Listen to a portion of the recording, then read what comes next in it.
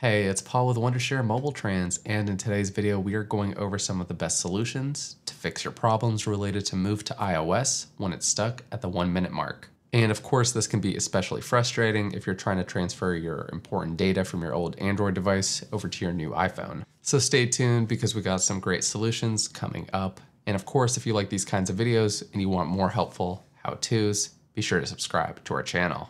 And before we get into it, we also have a great 20% off sale going on for all our MobileTrans tools. You can use the link in the description to learn more.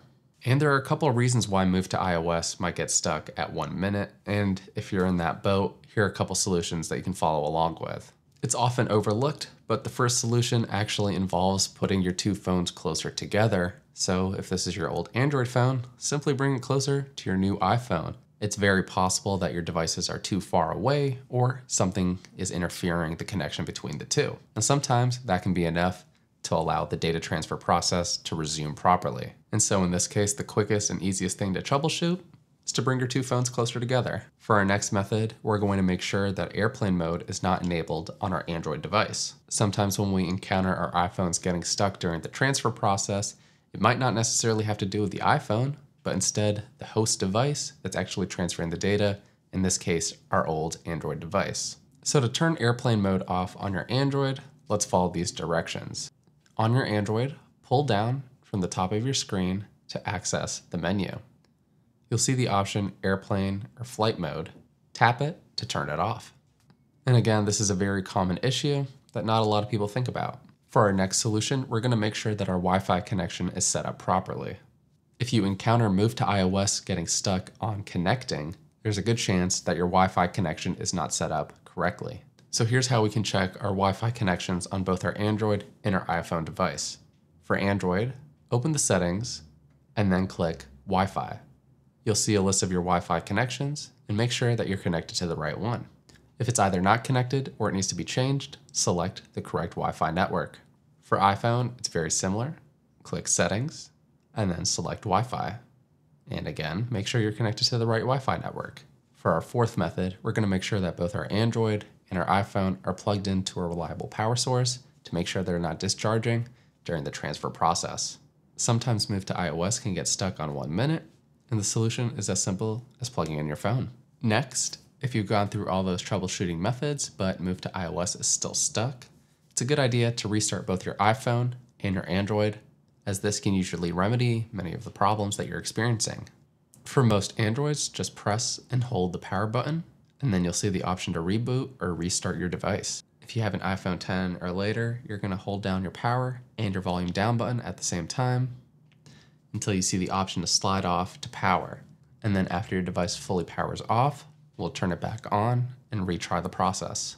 On the other hand, if you have an iPhone 8 or earlier, all you have to do is hold down the power button and you'll see that same screen. Now moving on, if restarting your devices still doesn't solve your problems, there's a chance that either one or both of your devices needs to be updated. So if move to iOS is still not working, we're gonna go ahead and check if either of our devices needs a system update. To check for updates for an Android, click on settings, and then you'll see an option for software update. If there are any available updates, you'll be prompted to download and install. To check for updates on our iPhone, click settings, general, and then you'll see an option for software update. Again, you'll be prompted to download and install if there are any available updates. Now, hopefully one or a combination of those solutions helps you fix move to iOS being stuck. If not, we have another method that you can try.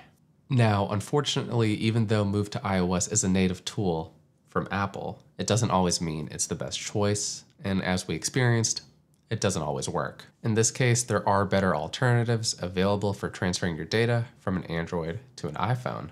Our Wondershare MobileTrans tool is one of the best and fastest ways for transferring data between the two phones and helps you overcome a lot of those issues that you often experience using the native tools either from Android or iPhone. Using the MobileTrans desktop tool, you can transfer the data between the devices and create easy backups as well. And best of all, our tool is easy to use and it supports over 18 different types of files. So let's start by downloading and installing MobileTrans on our desktop. Once that's done, open MobileTrans and connect both your Android and your iPhone to your computer. We're going to click on the phone transfer tab and then click phone to phone. And now because we're transferring data over from our old Android device, that's going to be the source. And then we're going to select our iPhone as the destination as that's where we want our data to be transferred to. But if you find that the devices are backwards, you can just click the flip button and it'll put them on the correct side. Next, we can select the different types of data that we want to transfer over and then click start to begin the transfer. Now, if on the other hand, you either don't have access to a desktop or you would prefer to just transfer the data directly between your Android and your iPhone, we do have a mobile app to help you with this. Our mobile app works very similarly and it supports over 11 different file types. So here's how we can use our MobileTrans phone transfer app. You'll begin by installing it on your Android device and then launch it.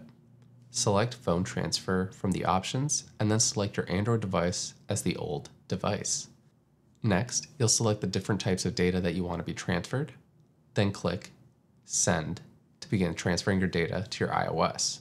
And as you've seen, these are some of the easiest and most reliable ways to transfer your data from your Android to your iPhone, but at the same time, you can also transfer your data from your iPhone to your Android, or iPhone to iPhone, Android to Android.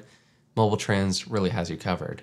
And of course, if you've experienced any issues with Move to iOS being stuck, and the earlier solutions that we shared didn't work, then you should definitely try out MobileTrans. Let us know which solutions you tried and worked best for you in the comments down below. And if you're experiencing any issues, we can also help you there too. Again, be sure to subscribe to our channel and hit that bell for more awesome videos like this. This has been Paul with Wondershare MobileTrans, and until the next one, we'll catch you later.